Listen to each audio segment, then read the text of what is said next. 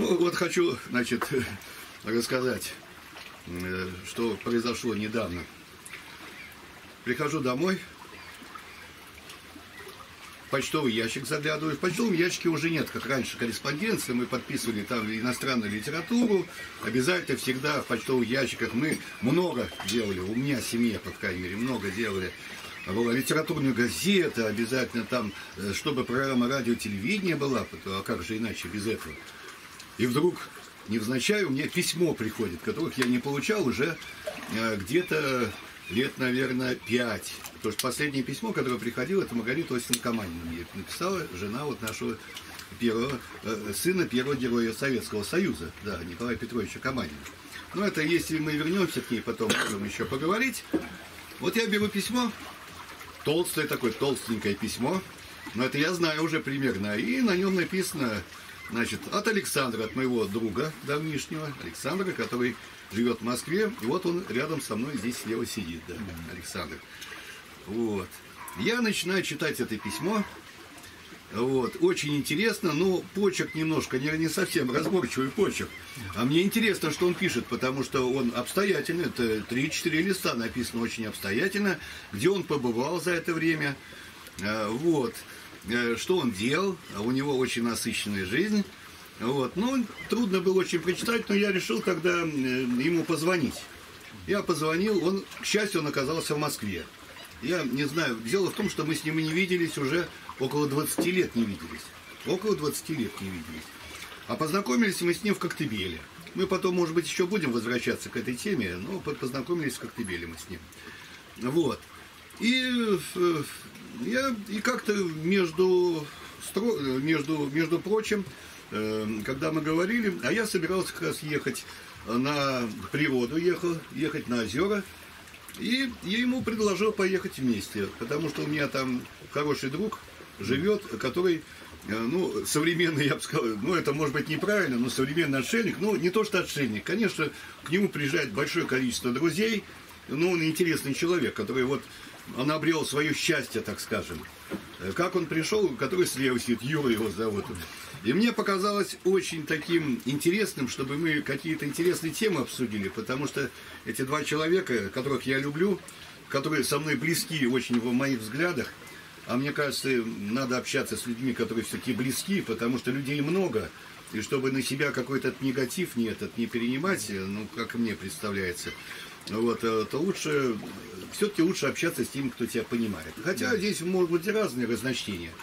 Э, и Юра и Саша первый раз, практически первый раз э, друг друга видят, они ни разу не разговаривали. И мне показалось интересным вот это все записать. Поэтому вот место встречи это тот райский уголок, который себе Юра сделал на природе. Мы его особенно снимать не будем, но мы просто вот на фоне озера это снимаем. И здесь красивый вид.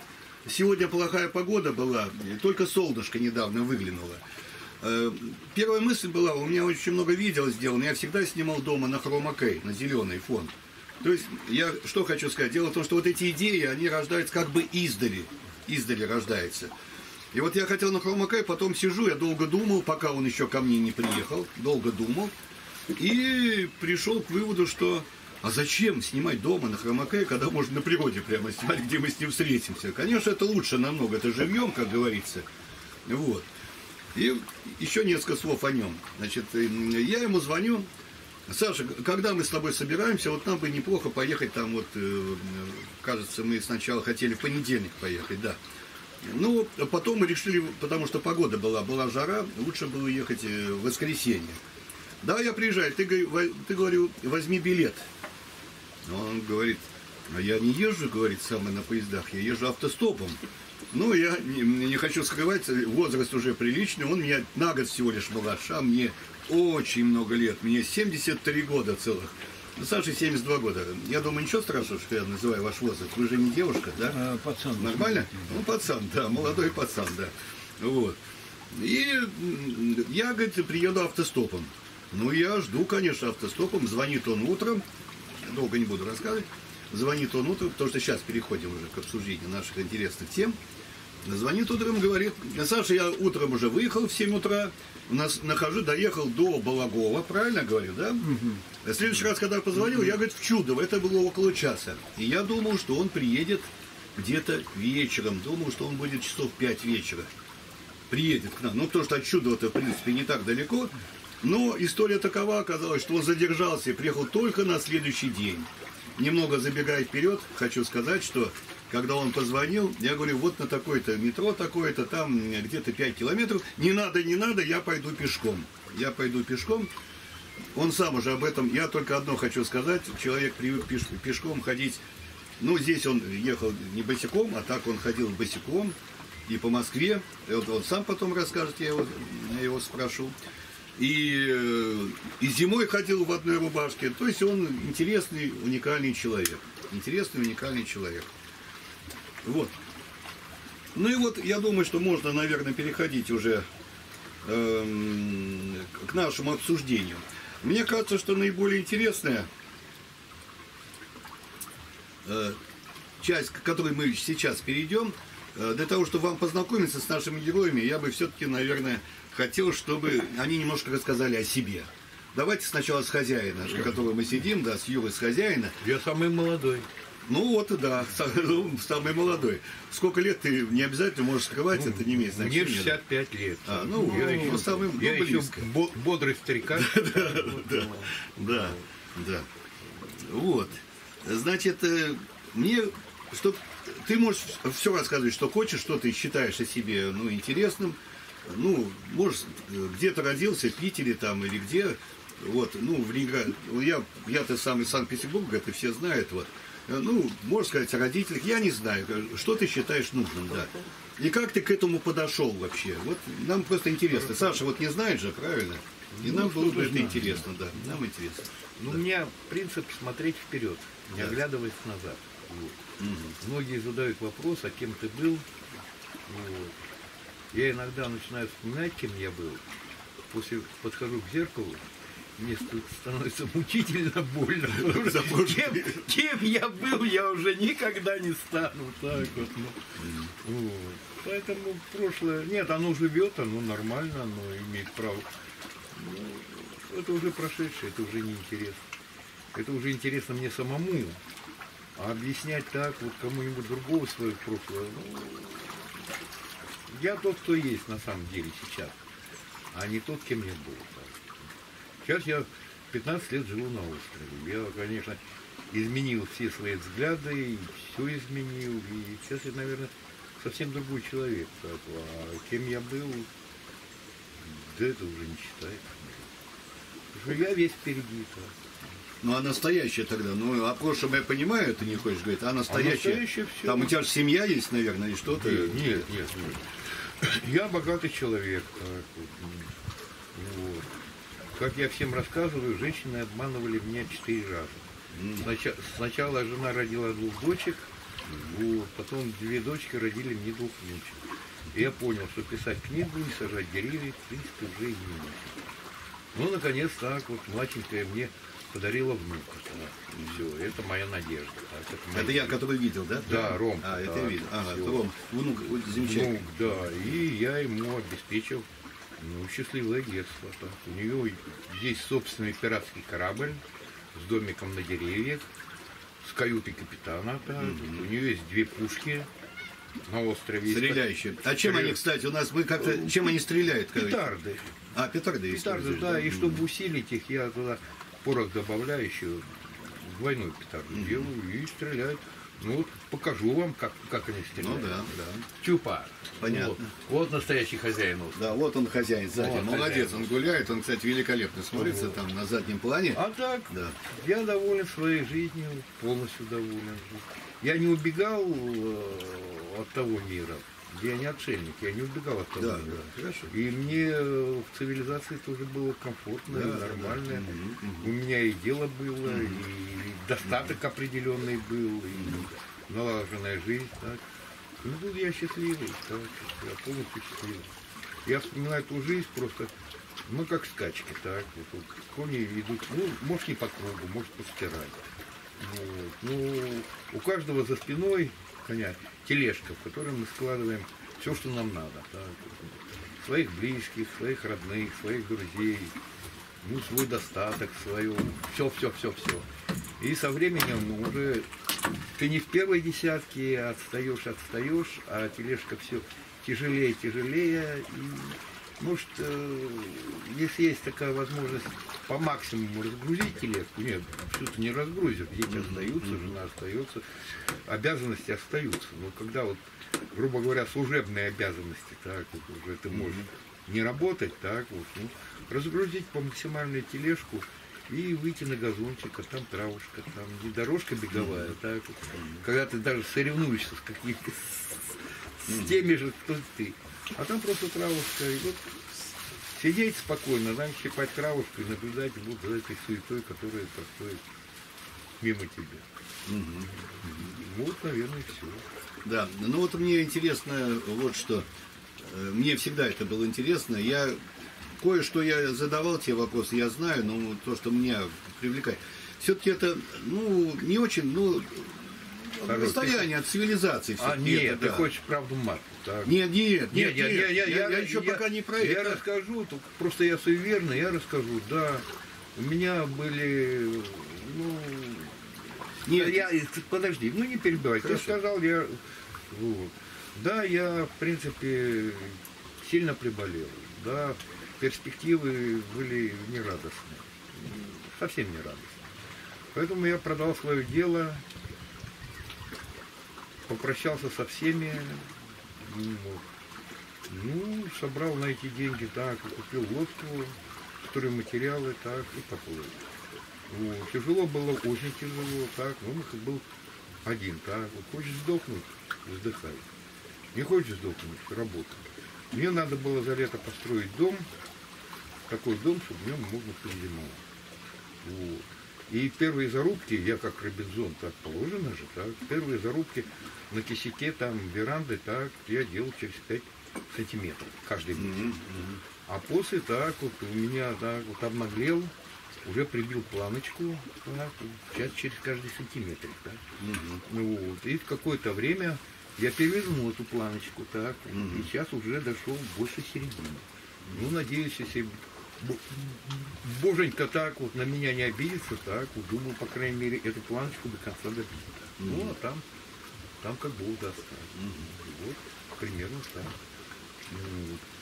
Я не горжусь тем, что я совершил. Просто я кончил институт физкультуры. Mm-hmm. Я примерно знаю, так. Лезгов-то, да? Нет, военных. военных. А, военных. Да. Я примерно знаю, до какой степени можно расшатать и ушатать организм. Угу. Вот. Выйти на второе дыхание, а выйти угу. на третье дыхание. Угу. То есть я примерно знаю, что ну, по идее это не ограничено силой. Поэтому вот я принял такое решение. Не знаю, справлюсь или нет, ну вот. Доктора мне говорили год-два. Ну вот я неделю назад, 15 лет. Угу разменял. Там, ну да, ну да, уже, уже 15 даже. Ой, как быстро время-то бежит. А ведь я хочу сказать, я-то здесь 45 лет в этих местах тогда. 45 лет уже. Поэтому мы и встретились абсолютно случайно здесь с тобой тоже. Саша, я сказал, что встретились мы с ним в Коктебеле. Вот. А здесь-то мы с тобой встретились именно тоже, я, кстати, и не помню уже сколько лет, но прилично. прилично. Тоже время бежит прилично, очень быстро, да. прилично. Я-то тебя вот что хотел спросить, на самом деле. Нет, не то, что ты рассказывал, почему я, извини, тогда тебя пытался перебить. Э, ведь, по сути дела, ты живешь здесь э, почти все время, ну, э, ежедневно весной, и зимой, да, да, и да. летом. Это Новый год, Новый год ты, наверное, и бывает, нет, и, и уезжаешь. Нет, нет, нет. Все нет. равно здесь? Нет, я стараюсь на праздник. Стараешься. У меня жена, у меня дети, а, внуки. Да. А, да, да, да, да, да. А Дедом Морозом да. кто работать будет? Но ну. зимой все равно здесь, да. Да. Я помню, как-то у тебя спросил, мне было очень интересно, потому что вот на этих, в этих местах я видел, э, что здесь удивительно на островах ну, ну во-первых, даже такая мелочь. Э, змеи пере, это, переплывают вот такие колоссальные расстояния, километры переплывают. Мне мои друзья рассказывали, что здесь они видели лоси переплывают тоже. Вот вылезают, лоси переплывают. И кабаны и как-то И кабаны даже здесь, да. да, и кабаны. И как-то рассказывал, я помню, что ты, ты лучше расскажешь, когда здесь и хищники еще какие-то бывают, да? Ну, вот Ты рассказывал. Первый год, так вот, э, колотый лед был. Э, ну, колотый лед. И вот мать дура, рысиха, так вот, повела с собой э, трех этих самых котят. Ну, котята уже такие годовалые, со спаниеля примерно. так. Ну, в принципе, я понял, что она на Кильполу, потому что тут кормовой-то базы нет. Ну да. А на Кильполу, так, там открытая вода. По льду они, да? ну, по льду тут было. Да, да. тут, а там а там дальше открытая ладога была. Ну, вот, в принципе, вот это, это же борьба за выживание. так. Да, да. Или я, потому что рысь, она, а тем более голодная, ну, пришлось сложить их всех. Всех даже. Ну, что, ну, куда их так? Маленьких. Ну, а мали, им не прикормиться тут. Не То прокормиться. есть, понимаешь, ну, Им что, мясо и надо, либо да. они сажали моего кота, так вот, А. или меня поцарапали. Ну и единственное, что так вот, я вот а, одного рысенка уже подпустил на берег, вот, ну, я его недели две ел, так. Мясо вкусное, питательное, и, кстати, интересное мясо, но не какое-то вот, ну что, вот, так- вот так вот. Вот Первого кота моего съела лиса, вот. Уже второго кота, так, вот лиса тоже пришла, начала его выманивать. Ну, вот. Ну, метров 10 от дома, ну, во что дверьте, типа, типа, пойдем, пойдем. Ну, он же хозяин, так, он же в драку лезет. Так. Вот. Я ее за штирку домой занес, так. Пришел к лисе, она сидит, я говорю, ну уходи отсюда, вот просто отсюда уходи. так. Ну, она меня вот три метра подпустила, так, ну, уже пришлось положить. Ну, а, выход, то есть это не жестокость, а так я к ружью уже, ну, лет пять, наверное, сказал. Я в свое время настрелялся, так, если собрать все гильзы, которые я выстрелил, да, ну, это, наверное, больше железнодорожного вагона будет. Поэтому косты уточек не трогаю, они вкусные, да, они красивые, живые, как, чем хомут перьев. Лет пять я уже ружье не трогаю. Сашка, если у тебя вопросы возникают, ты тоже можешь, конечно. Я-то основную, так скажем, буду вести видео. А Если у тебя что-то идти интересное, я думаю, тебе, потому Ну, что... посерьезнее что-нибудь. Волк, медведь тут есть. Нет, медведя, а ребята, остров маленький, Маленький. да? маленький, километр, на пол- тут нет кормовой базы. Километр где-то... Да, а этот один раз переплыли эти самые свинюки, так, сюда, кабаны. То есть вот, они траншеи прямо рыли. Так. Ну а что тут? Ну порыли там траншеи такие, серьезные каналы. Так. Вот питаться нечем. Лосей так вот, и лосей, и косули, но они обычно переплывают на остров, отдыхают, и километра два, уже большой остров, километра двадцать поперечник. И они у меня как, как передохнут, но я их тоже не трогаю. Ну, что, э, года три назад косуля, вот, ну буквально вот метров десяти вот так вот, выплыла, так. Ну что она уставшая, так, да и красивая, так, ну, говорю, ну молодец. Она так устала, что от меня даже шарахалась. Понятно, да. Я метров на 10 подошел к ней, так, вот. я говорю, да ладно тебе, иди, отдыхай ты так уж.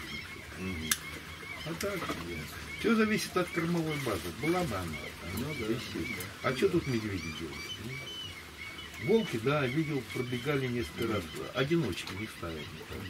А Волков видел все-таки? Да, да, да. Ну, это зимой, наверное, да? Зимой, А, зимой зимой, пробегали, по- да? зимой тут практически постоянно лисицы так вот. Лисиц много, да? Да. Зайчики, наверное. Зайчиков нету, ну. Бобры. Не, ну говорю, ты что, бобры им запруды нужны. А, А тут это самое, тут, тут. А из птицы я куропаток видел здесь. Куропаток много вот на этом, на, там, на соседнем Глухари, острове, да. тетерева. Гл- глухари да. даже есть, да? Глухари, да. Ой, такие, Мне кажется, я такие здесь петухи хорошие. сов слышал, ухало. Сов, Совы ой. есть, да, ухо, ухало. Я мне, раньше мне ребята да. говорят, заведи курых кроликов. Так. Я говорю, вы, вы- вы видели филина? Так? Да, да, да. У него лапа так, чуть меньше, чем моя рука. Так. Ну и он скажет мне спасибо и за кроликов, и за кур, и, и за все остальное. Ну, ясно, да. Очень интересно. Я думаю, что мы еще по ходу дела, по ходу разговора, может быть, будем возвращаться. Мы можем когда угодно. Мы совершенно свободно разговариваем, общаемся. Э, Просто я вот этот планчик написал, я уже говорил, какой для того, чтобы какой-то все-таки, ну, канва какая-то была определенная. А вот Саша тоже рассказал, потому что я тоже о нем не все знаю на самом-то деле. Я здесь о нем кое-что новое узнал. Э, дело в том, что, еще раз повторяю, что мы с ним где-то 18 лет назад познакомились. Я знаю, что он москвич, вот, но почему-то в Питере учился, вот у нас в Питере учился. Я поэтому вот хочу, чтобы он немножко рассказал о себе, потому что я-то уже что-то мне сказал, но Юра не знает, вот. И вот, Саша, расскажи немножко о себе, да. Да, Саш, мы, мы только-только познакомились. Да, только познакомились, я вам сказал, да. Говорить Саша нам поговорить не дал, так, Да. ну, это особо. Но мы Поэтому- все торопились. Ну, мы все, мы всё, торопились Вот сейчас мы все. не торопясь, Ну, да. и я хоть с тобой познакомиться. Да, да, да, да, да. да. Короче, в феврале 98 года я в Индию поехал к Саибабе. Очень серьезно заболел и в деревню Потапарчик. Это кто его называет аватаром, кто святой, э, кто психиатр. Э, Короче говоря, он родился в бедной крестьянской семье и с трех лет творит чудеса.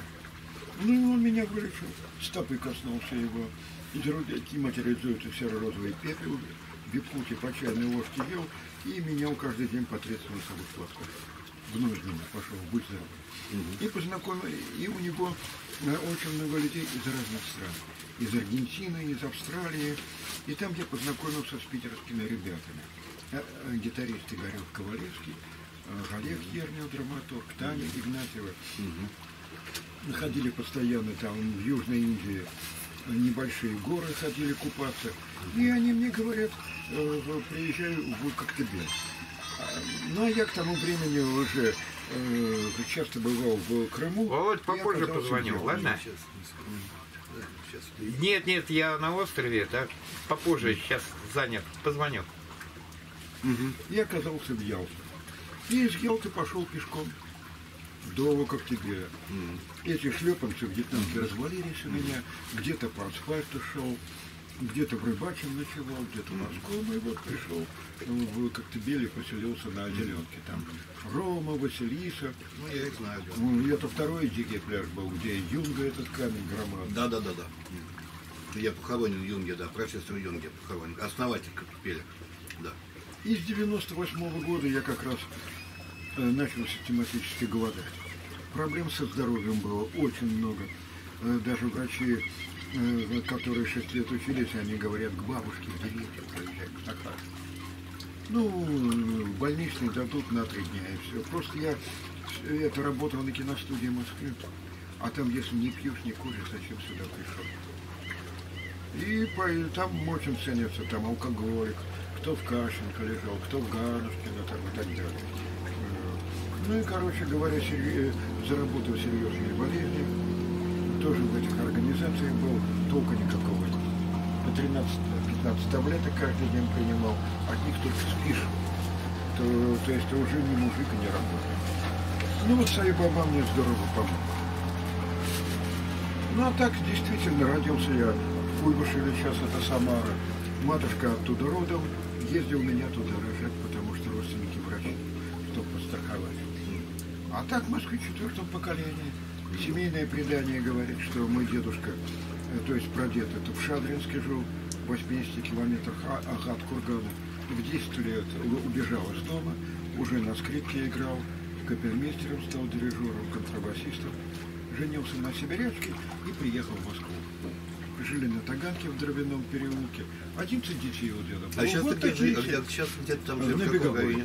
На А, Беговой, на Беговой да. живешь? Ясно. Ну вот 11 детей было. Все, кроме младшего, окончили консерваторию. Так что. Я когда был, значит, э, ну, он должен был ехать, мне всегда интересно и вообще со всеми людьми, кто, с кем я хочу познакомиться или там что-то, да и не только, кого я знаю, если время, конечно, позволяет, я всегда интересуюсь, ищу по, ну, по, да, по интернету ищу. Я нашел тебя, значит, там, э, по-видимому, твои, там, э, что-то твои родственники, да, музыкантов, очень много музыкантов, и, скорее всего, они есть. Но это не важно, в конце концов-то, это не важно.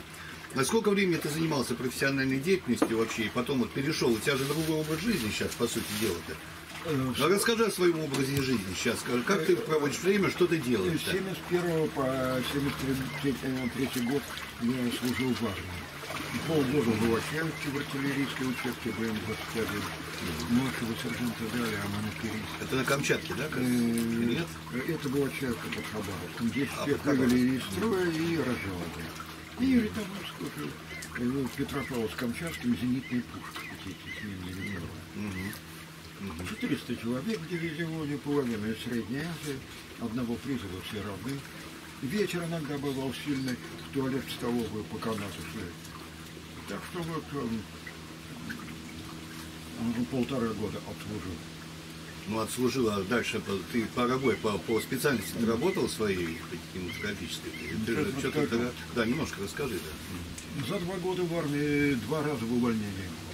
Так что мечта опять поехать на Камчатку. Зимой нас возили к подножию Козельского, ой, ты, ой, с летом, к подножию Козельского вулкана на стрельну. На три месяца. А зимой на месяц. Ну, а потом, э, перед армией, меня музыки родители, дети не, не учили по определенным обстоятельствам. Это же надо шести лет заниматься.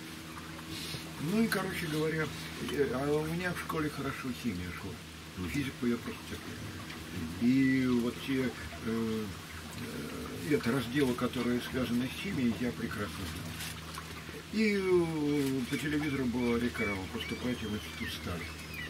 Ну, поступил в институт стали, исправил полтора года. А ты только, не только этот окончил? Я Ты... перед армией не окончил, полтора года проучился, А, проучился. и выпивать. Понял. И это разонравилось. Мгм. После армии э, э, э, это слегка поступил в Плехановский народного хозяйства и устроился в научно-исследовательский кинохудожественный институт НИКИ, старшим лаборантом. Но работы-то никакой нет. После армии мужик вот должен бумажки таскать. Мне дает работу, я за три часа сделаю. А остальное это время мне что делать? Ну, курить или в карты там играть. И, короче говоря, я э, там, и, короче говоря, я познакомился с одним там э, сотрудником, он говорит, не пойти тебе на Москву в цех комбинированных съемок. Матушка говорит, ни в коем случае, это клака, это помойка. Это, э, это я потом об этом узнал. Ну, позвонил, меня взяли механиком по обслуживанию аппаратуры, это четвертого разряда. 62 рубля 50 копеек. Ну, а когда ты в командировке еще суточные 2,60. Сейчас я понимаю, что если не пить, можно на них вполне прокормиться. И меня быстро продвигали, потому что после армии я любил работать. Мне кто-то сказал, как Беларусь. На работу я ни разу не опоздал, на работе не пил, а после работы кувыркался постоянно. Тем более справа на проходной в студии был магазин, и алжирская солнцедар, и рубль, и, и, э, и лучистская по рубль две, э, там и розовые, там и красные, и белые, там и яйцная. какие названия? Да, да, Ностальгия. Ну да, Это да, по две пачки э, э, курил, причем дукатовская, явская не котировал. А, ребят, Вот мы двое суток и ним, да. извините, перебью, да, ничего, ничего. э, по поводу воспоминаний. Да. У меня лежит пачка Беломора Ага. 1982 года выпуска. Вот, Да, я ее открыл, правда, так. И когда ребята приехали, так, ну, тоже деды такие же, Ну как, да. как я, так, Ну да. дал им, так, вот, вот все косячок забили втроем, так, вот, и вспоминали. Да, это, и, может, он уже невкусно, так, но это было, это как Экзюпери говорил, вода рождается из света Ну звезд, да, да. из скрипа ворота. Это вот, вот, вот именно, как, как ты начал говорить, так, вот, про солнцедар. Да, про- сразу, да. Сколыхнулась душа, душа да. Душа Ну мы все это прошли, мы Ну, это конечно, все прошли. А чего? Я не считаю это- это нормально Мы на этом выросли, да. да, и мы, я, мы это, все выросли. когда человек, грубо говоря, осознанно э, бросает пить, это понятно, это его решение. Но да, когда да. молодой парень так говорит, а я Ну не да. пил и не пью, Да. ну это как-то... Попробуй-то. ну, страшно, странно как-то. Ну да, конечно. Кстати, сказать, когда мы с ним предварительно говорили, ой, нет, и мне, наверное, не надо даже об этом, потому что, в конце концов, я э, как бы у вас интервью беру, поэтому не, не нужно мне со своей точки зрения. Хорошо. А, а Значит, и потом ты в кино. Когда ты закончил кино, или ты что-то еще хочешь здесь рассказать? Вот так. Да, да, извини, да. Ну, поступил я, значит, в Плехановский на вечерний, э, это в товароведение промтовар. И поскольку я из армии, меня сделали старостой курса. О, э, и четыре группы по 25 человек. Ну, и это и общественную работу я никогда не любил. Ну и если, э, ну и там обучение довольно простое. Если, например, ходишь на занятия, пятерки, четверки, а не ходишь тройки, четверки, можно было до конца. Сейчас я понимаю, ну, любой институт можно кончать, даже можно и не кончать. Ну и потом решил перевести в Ленинградский киноинженер. Он был, э, это собирал бумаги, послал в Ленинград, а они потерялись. И через год я приехал там в деканат, говорю, где мои бумаги? А вот мы их тут в шкаф положили. И, короче говоря, на механический факультет. Специальность киноаппаратуры. Первые три года в Москве, э, вечерняя система. Ну, на Мосфильме работал в 6 заканчивается, и надо успеть на Шевченковскую набережную, 8 остановок на автобусе. А, а, а последние три, три года, четвертый, пятый, шестой в Ленинград. На сессию приезжали. Фонтанка 51, общежитие. И за 40 дней я там все выжимали. Да. Понравилась, вода очень хорошая. М, В Питере. В Питере, Ну, да. Она очень мягкая. А я люблю, а я люблю И, ее. извините, перебиваю, ребят. Ну можно? Конечно, как же? Нужно, нужно. Как нужно, даже нужно, да. К стоматологу, так вот, в Монголии пошел, так вот. Она так посмотрела мои зубы. Питерец, я говорю, питерец. Вас, вас сразу по зубам можно узнать. То есть э, вот мягкая вода очень, так. И у всех питерцев первая проблема с зубами. так. А так, нет, она мягкая, хорошая, так. На вкус, он имел в виду на вкус, А. наверное, когда говорил. На вкус. Ну, так вот мне, мне сразу сказали, из Питера, так, э, ну, профессионал, так, Ну да, ну, понятно, да. Хорошо. Ясно. Понятно. Ну и, а потом, после этого, значит, как у тебя развивалось, да? В настоящее Ну, время ты, ты же не ну, работаешь, наверное, да? Э, Закончил институт. Закончил. И э, год еще проработал на Мосфильме, были серьезные болезни, и решил, так сказать, работу полегче. Опять в кинофотоинститут, ой, то есть Госмедицин фотопроект. Меня инженера-механика взяли на должность инженера-химика. Но когда ты 15 таблеток принимаешь, ты никакой не работаешь. Это просто беда, ты просто спишь. Так что ни одного научного открытия это я не совершил. У у нас аэрофотопленки мы делаем. Причем черно-белые. В Японии была уже тогда пленка 8 тысяч единиц цветная, а у нас 500 единиц черно-белых. А цветную это сложнее сделать, там Конечно, только свое, конечно. свое поливать.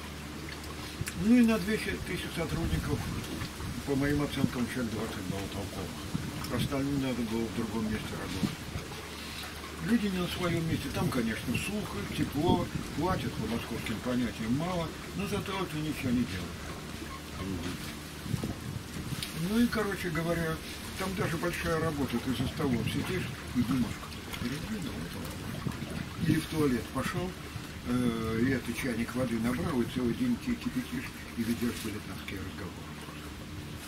Там уже все переженились, там перекрестное опыление. Вот такая у нас наука, я просто удивился. А безделье это хуже работа. А я тут свои думаю, ну что это не понимаю. Лучше на любой работе работать, как Лев Николаевич Толстой говорил. Э, Самое страшное это безделье. Самая грязная работа, не, не в душе. А какое было соображение? И дело в том, что у наших ученых были хорошие на работе. Но когда они дойдут до потребителя, ничего хорошего нет. Меня посылали в Шосткинский комбинат, э, где поливали пленку. Мне надо было сотрудниками следить. Например, э, температура этого полива э, плюс-минус полградуса, это очень много. И это время с точностью до минуты должно быть рассчитано. А сотрудники в ту бушлатах сидят и просто спят. И мне надо было их будить, чтобы на кнопочки-то нажимали, прям как насмотришь. Ну и потом от этого безделия я, конечно, ушел э, в соседний институт. Э, это опять кинофотоинститут, НИКФИ, научно-исследовательский институт. Э, Там самая интересная работа была, когда нас привозили в подшефный колхоз под клином там Захарова и в 13 километрах спас э, сено косили там, э, на, э, на эстакаде там разделяли картошку от камней, в поле работали, а когда в поле работают, опять тебе привозят, а потом на работе там еще отгул дают, смотря как договоришься, э, это с руководством. Ну, все-таки на свежем воздухе. Самогон за 5 рублей на Корее дуба А опять-таки. что а чё дорого тут? Это какие А? Ну, это, это 85-й, 88-й год. Вы ты- Да. 5 рублей самогон? Да, тогда был. Так литр. Ну, я понимаю, что литр, так? вот, Ну, Я не само- знаю, сколько самогон, стоил, я не самогон знаю. только литрами мерят. Да, я тоже думаю, что литр, наверное, как еще? Наверное, литр, да. Мгм. И когда работали в этом кинофото-институте, я там в лаборатории стереокинематографии, где-то в 85-86 году э, на, на- нас пригласили консультантами э, на стереоскопическую картину. э, это а Церкачевская. Ну, Это вторая роль Оли Камлов. Снимал со студии Горького режиссер Махаров. Он всю жизнь был вторым режиссером и великолепно снял. И оператор-постановщик Сергей э, Э, Стереокартина она снимается не на 35 миллиметров, а на 70. Ну да, чтобы две. да, Э, давайте, да, Это два. специальный объектив. Два. Правый глаз видит правое изображение, Да, да, да, левое да. левое. Подводные съемки там были. В общем, ребята хорошо с этим э, это справились в студии Горького, и мы там просто как консультанты были в Ялту. Да. Э, Кстати, когда в Ялту приехали, поселили нас это, в гостиницу там, и э, этого Юматова и Георгия тогда просто выгнали. Постоянно все время пил. А потом он говорил, я фронт прошел, а работа не киностудия, это еще сложнее. Просто пить надо меньше. Материальный мир э, и так ничего хорошего нет, а мы еще усугубляем, делаем Тут, себе хуже. смотрите, ребята, мы опять возвращаемся к проблеме пьянки. Да. Ну да, да. Это для меня А мы, кстати, мы об этом еще поговорим, да. Обязательно поговорим, да. Поговорим об этом. Это у меня преданное служение. Слушай, а я, э, господа офицеры, так вот, ну, е- если с утра я не пьян, значит не улан, да, так вот, да, ну, да, да. Да, да, да, да. Ну, так я сейчас вот по стране езжу, это жутко, что творится. Например, лет 15 назад в Калязине был, где колокольня. Из- э, Там м, э, 17 жителей, три коррекционные школы. Физики, химии, математики нет. И я с девчатами говорю, умные глаза, а девочка говорит, а мы сумасшедшие. А к- я говорю, кто тебе сказал? У тебя ясные глаза. Если одного ребенка взять, из него можно сделать деньги. А когда их стадия, 30 человек ничего не получится.